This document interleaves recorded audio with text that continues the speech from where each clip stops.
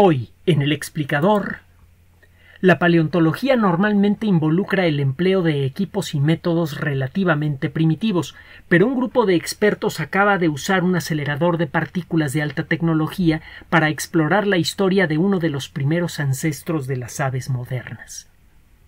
Además, y en exclusiva para nuestros patreones, un trabajo reciente revela el origen cosmológico de uno de los elementos más importantes para la vida como la conocemos.